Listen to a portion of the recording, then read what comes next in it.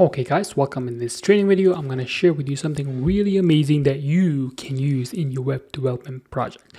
One of them is called jQuery filter, search, or whatever you want to call it.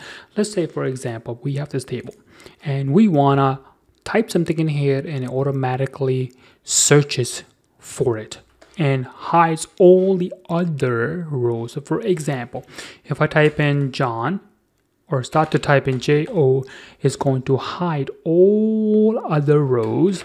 And as compared to if I type in let's just say add example. So as you can see it will search for that particular string that you want to do that. And I'm what I'm going to do is this is obviously not my code, but I want to share with you because I have used this particular code in my other projects.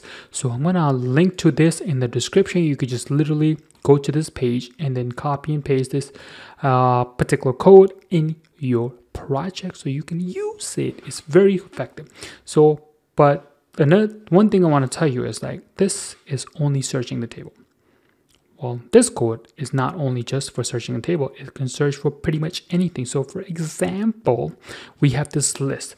So if I click on here and start typing in, let's just say FO, then it's gonna start to filter through that particular list as well.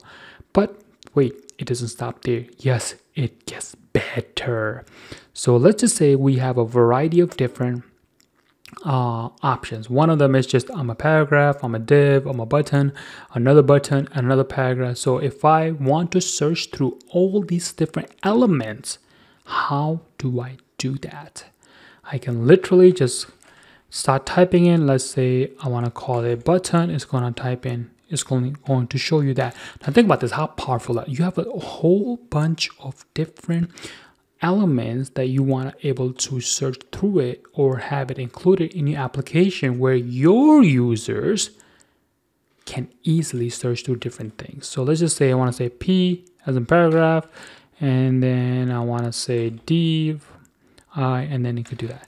So as you can see how powerful this thing will be. This is a very, very neat, quick, and easy to implement trick that you can include it in your web project. So I'm gonna link this to, uh, I'm gonna leave this link in the description. You can check it out at your earliest convenience. And it's also, I have a gift for you, which you can get by going to this particular URL and I will also leave it in the description for you, make it easier for you. Now, the gift that you can get is at codewithmark.com forward slash gift. Make sure you check it out. And if you are a new developer and you want to speed up your web development career at a lightning speed, make sure you check out my store in which you can find a whole bunch of uh, courses that's going to help you speed up your learning curve almost next to nothing.